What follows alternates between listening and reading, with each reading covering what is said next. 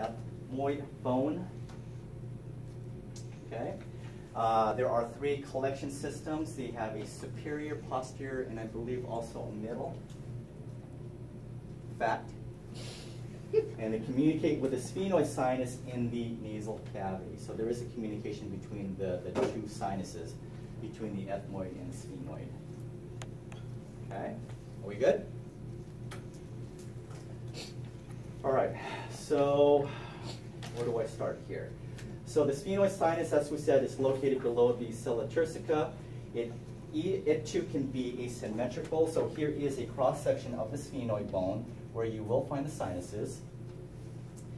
When you see fluid collecting in the sphenoid, that's usually an indication of some kind of basal fracture here. Okay, so what is the best way to evaluate for the sphenoid? I just told you guys this. What was it? Lateral. Lateral. So if they're no lateral and we see a straight line going across this area over here, that's an indication that there might be a fracture on the, on the basal part of the skull. okay. Um, someone's phone was talking. Is that? Whose phone is that? No, It's it's mine. Was it Evelyn? Okay. Of course. All right, any questions here, guys?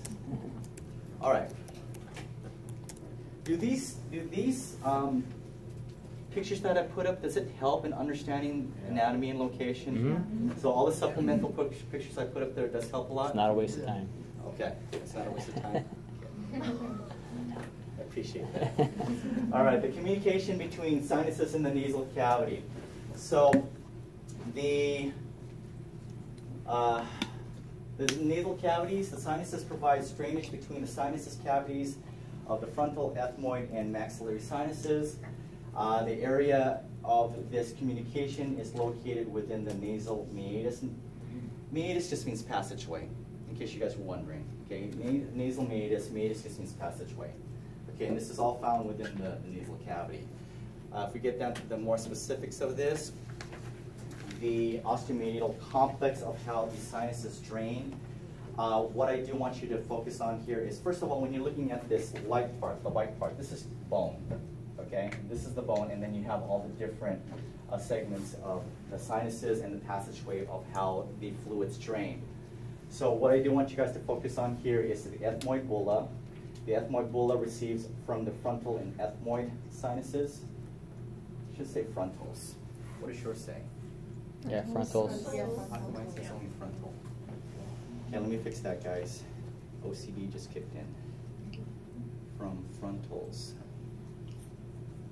and ethmoids. Okay. Um, and then the infundibulum receives from the maxillaries. So they can continue to drain, so the drainage can either come out of your, your nose or out of your mouth, or you swallow it Okay. right? Back of your throat. Okay, so that's how you get rid of some of the, the, the drainage. And if you can't get rid of that drainage, it can cause a terrible, terrible headache. Okay, any questions here? So that's one of the things that happen, especially if you guys have like sinus problems, um, and you lay down, the first thing that happens is you start to cough because it's draining and tickling in the back of your throat. So if you have sinus problems, you'll have a tendency, a tendency to cough when you lay down. All right. So anatomy review, identify the four sinus groups. What are the four sinus groups? Frontal, maxilla, sphenoid, Ethmoid, ethmoid. ethmoid is anterior and sphenoid is posterior. Okay. So uh, these are the views that we are going to perform in assessing these sinuses. Are you guys familiar with these views already? Yes. Lateral and PA Caldwell? Mhm. Yes. Yes. I hope so. Renee, No. you're not? I mean, I haven't done it in the hospital. Oh, Okay, I know, but we covered this already, right? Yeah, this is nothing new. This is nothing new, so it's lateral and PA Caldwell. We covered Like, you this. were here last So week, So the right? only difference I told you between met in the hospital. So the only difference between these views in performing skull and facials and sinuses is what?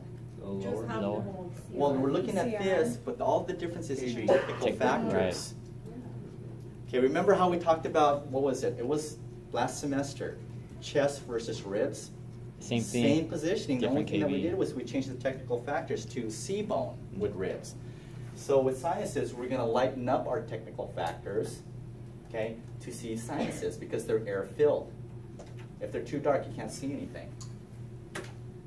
Okay, so here we have the frontals, okay, lining your frontal bone. Here is your sella turcica, so right below that. Air, air is black, right? Mhm. So right below the sella turcica, this is your sphenoid, okay? And then there's gonna be a separation between the two over here, and this is gonna be the ethmoid and then your maxillaries. Now, in a PA Caldwell, PA Caldwell, so you're face down, what's your degree of angulation? Fifteen. 15 degrees, which way are we going? Caudad. Up or down, so we're going caudad, okay, caudally. And a PA Caldwell. Frontals, you will see, okay, your ethmoid and your sphenoid, again, they're gonna be superimposed, so we can't tell which is which unless we do the lateral. So if there is something going on here, the best view to evaluate this would be on- on the lateral, okay? And then you have your maxillaries.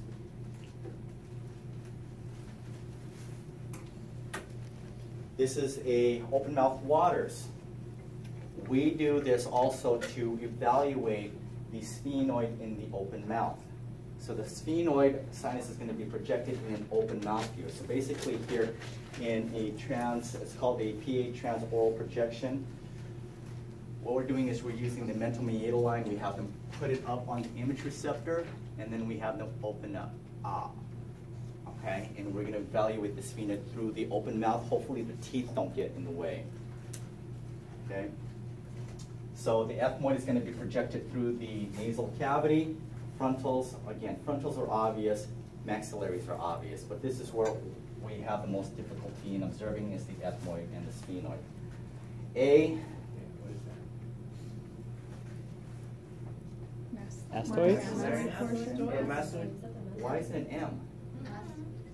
Okay, yeah, it is pointing to the mastoids. Oh, but it's but it's labeled A. Air cells? A, air? What is, what is? What does the book say? Is this the same, is the same label on your, uh, same picture in your book, so what's A? It's mastoids, but why, why A? Angle? Air, What's the book out? air cells, okay, I can understand air cells. What does it say, Bahar? Bahar, Air cells. Yeah, I'm just looking, it's on the water projection, I mean, it's, doesn't. Air cells. air cells, I I think, don't know. anything. okay, let's just say air cells, but it's pointing to the mastoids. Okay. Okay, uh, any questions here? Keep on going then. All right, this is a, another good projection, is the SMV. Remember, the top of your head, the vertex, is going to be, Oof. It's gonna be, yeah. So the top of your head is gonna touch, touch the image receptor. SMV is the, uh, what is it, the submental vertex projection. So we're looking from the bottom up. Um, to evaluate for sinuses in this particular view, you will see the burnt out maxillaries. They'll be burnt out, you won't see them, but this is the general location here of the maxillaries. You will see, uh, you'll also see the ethmoid and the sphenoid in true profile as you're looking at it from the bottom up. Now, the way that you identify the sphenoid, remember how the sphenoid, I'm sorry, the ethmoid looks, it looks like a bat with wings, okay? Here are the wings. And then you have one in the center. Or it looks like else, isn't? This is Mickey Mouse. Or it's- I'm always using Mickey Mouse as a reference, right?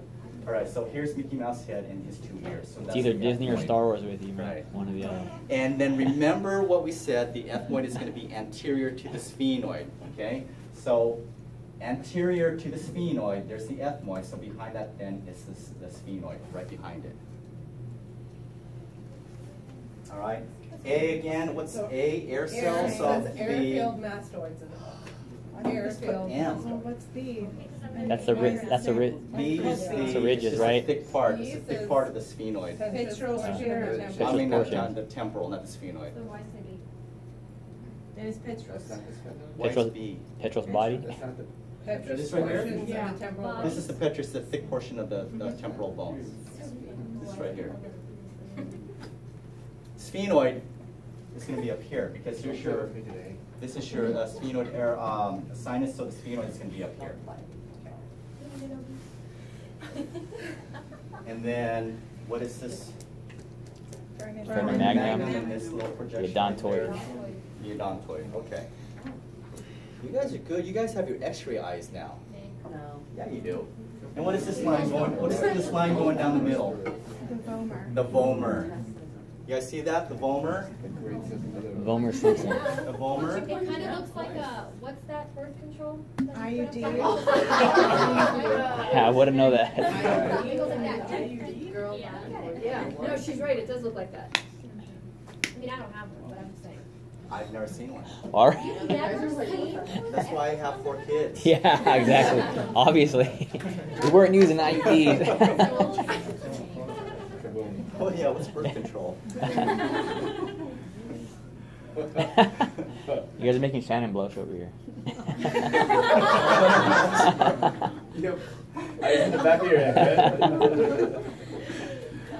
Okay, um, let's now, next discussion here is the. Rhese method? Huh? The Rhese? Is that what it's Yeah, okay, so the, the next, uh, Pants on, that's what birth control is.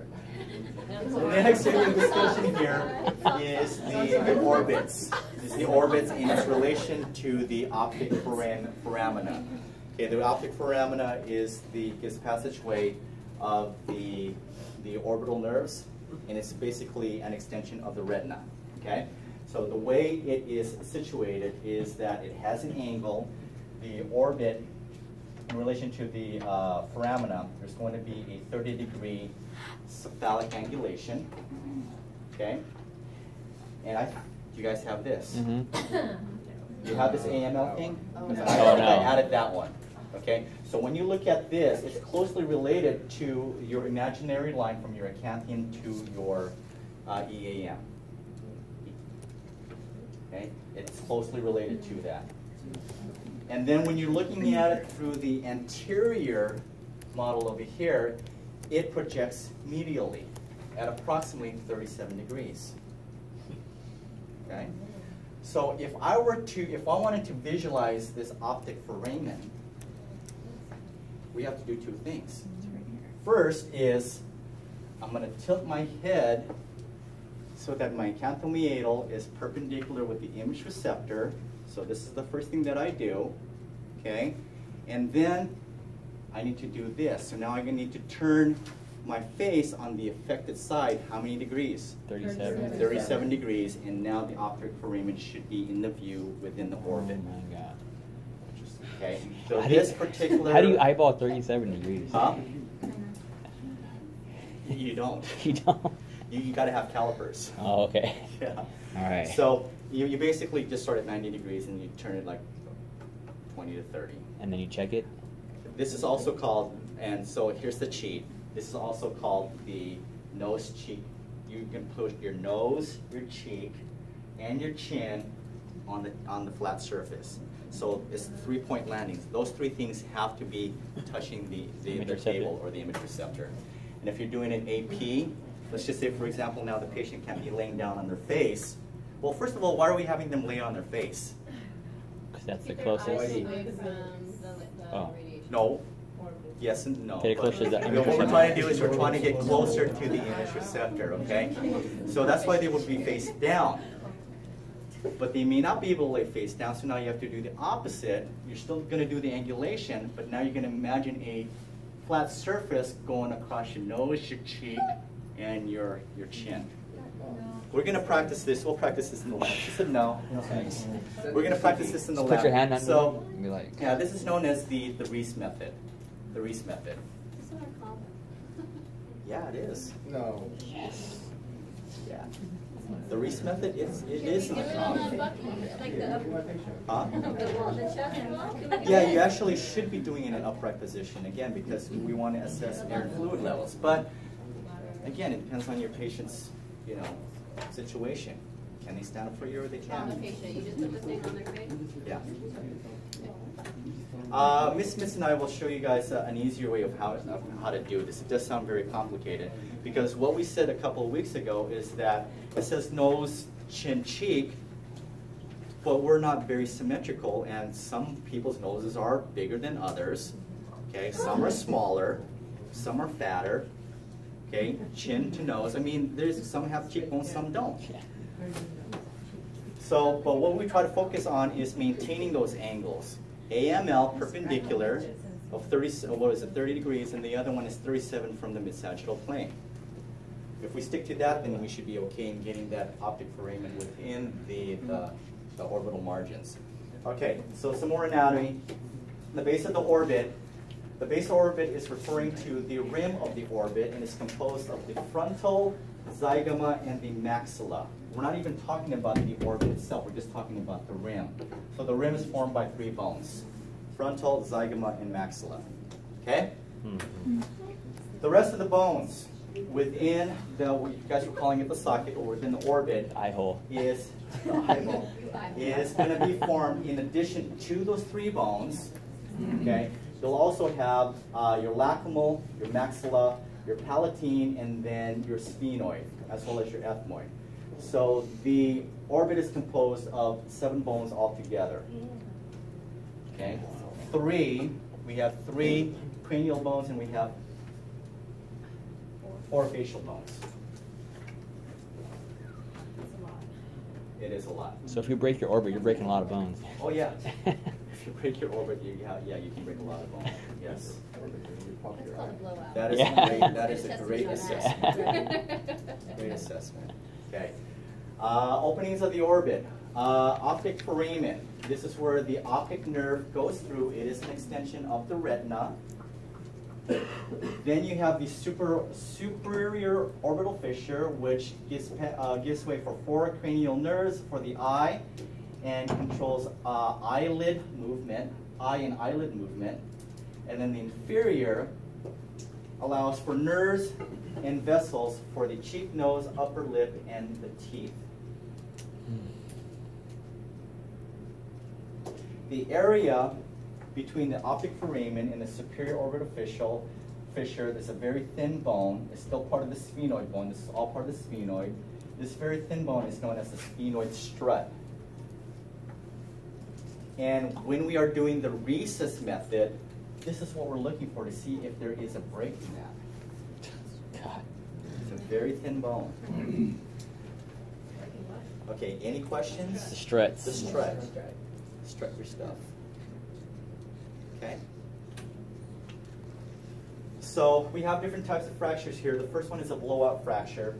The blowout fracture is an orbital fracture of the floor, driving the inferior rectus muscle down beneath the floor. That's it. Bless you. And it gets trapped in there. It doesn't come back up. It gets trapped. And what that happens is that it causes diplo, diplo, diplopia, Double vision. diplopia, which means double vision. And then we have a tripod fracture. You guys gotta let me in on the jokes. You guys are laughing at He at said double chin. Double chin. Yes, it causes double chin.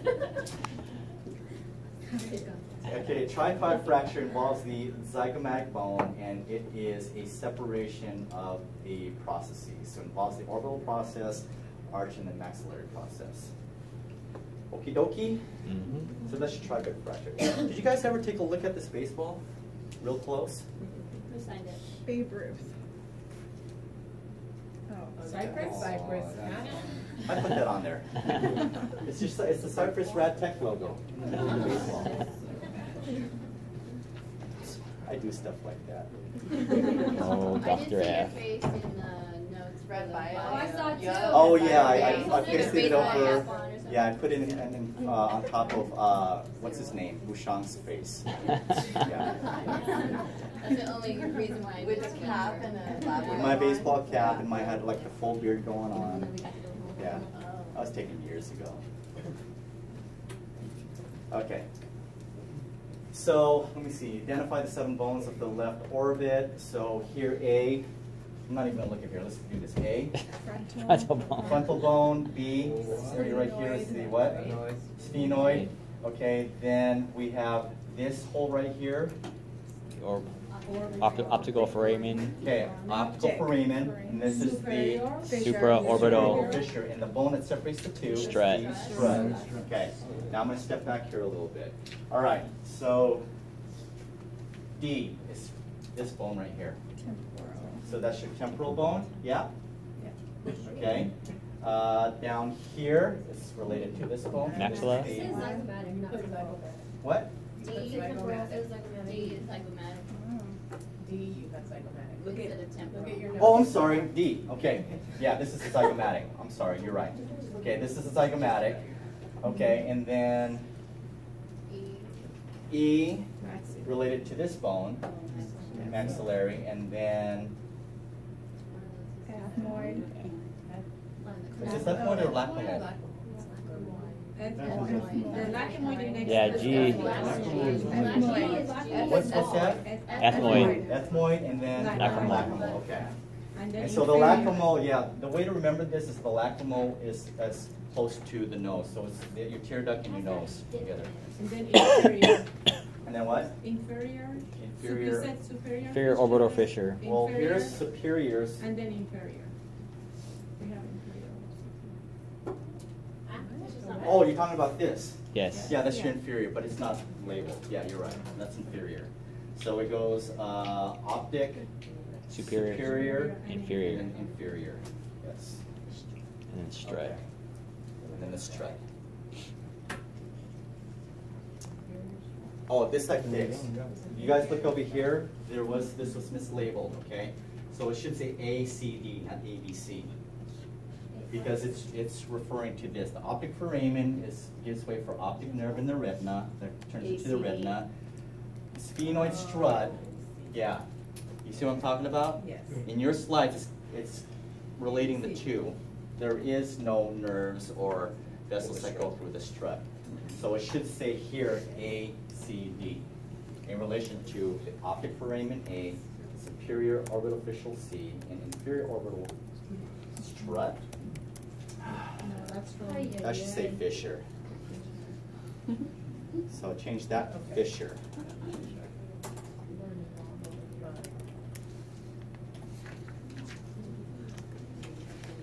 Okay? Mhm.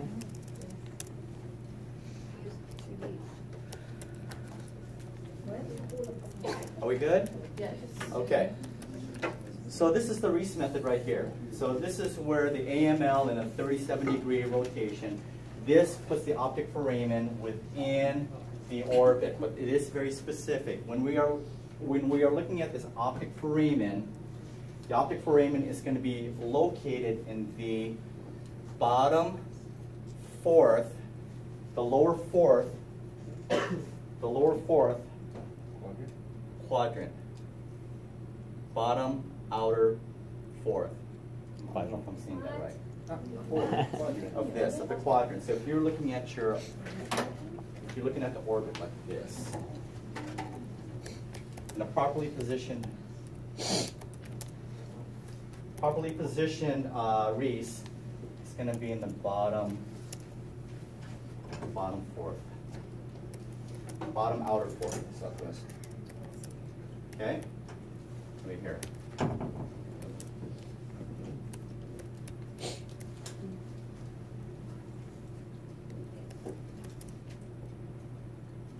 Okay?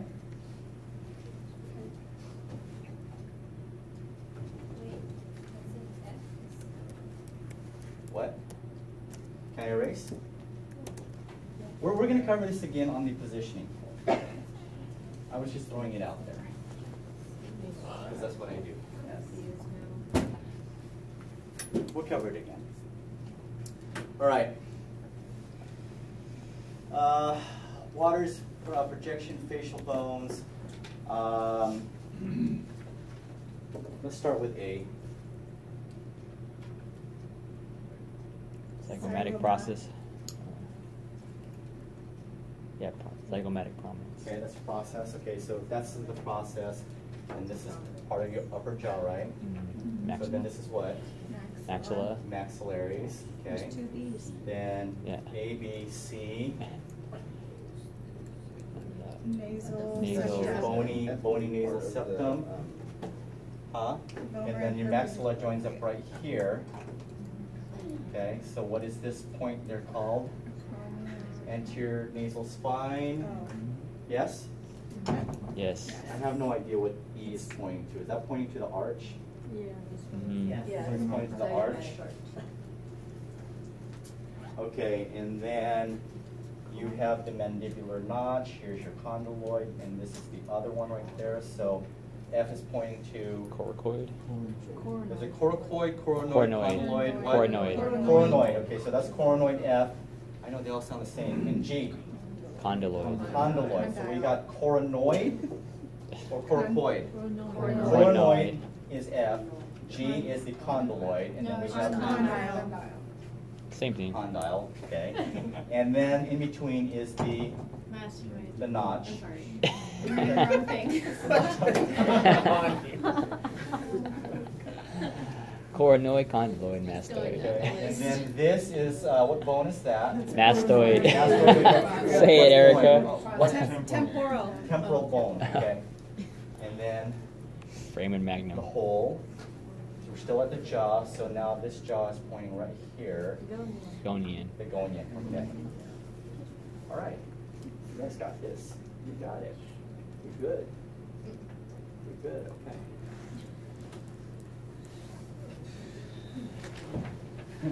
What projection is this? SM. SMV, so we're going from the bottom up, okay? So here is the hard palate, yes? Mhm, Yeah. Okay? So then this part here is Palatine process. of- palatine process of what bone? Maxilla. The maxilla, okay, so that's the maxilla. So then back here would be the Palatine bone. palatine, so that's the palatine, okay? Um, ooh, we were doing this earlier. What are, what are these, oh, what's this? Zygomatic arch. Zygomatic arch. So someone mentioned this to me the other day. We actually call these jug handles. When you're looking at it from the inferior of superior view, we call them jug handles. Mhm. Okay, so this is the zygomatic arch. And then, what is D? The what? Hamlet of the pterygoid bone. Little foot. Oh, this, this looks more like it. That doesn't. Yeah. Okay, so the pterygoid, the hamlet of, of which bone? The sphenoid. The sphenoid, okay. Awesome. Okay, how about if, we- how about if we look at the different openings? We know the openings? Ross. Ross, which stands for, so we're going this way, right? Rotundum, So it ovale, goes- spinosum. Okay, Rodents of a nasal swallow. Ross. R-O-U. And so then what would this be right here? The super overall fissure? Is it the Is that supraorbital a? Or is that an answer? Isn't that the optic, Half and um, fissure? It's the fissure. Yeah. Yeah, this is your fissure right here. So you have your superior and then you have your inferior down here. All right, guys. You guys know this. Oh. You want me to keep on going? Yeah. Okay, I'm gonna go? Yeah, just keep going. Okay, there. Going, going now. All right, how about, how about a fifteen minute break? Can I, can I use one?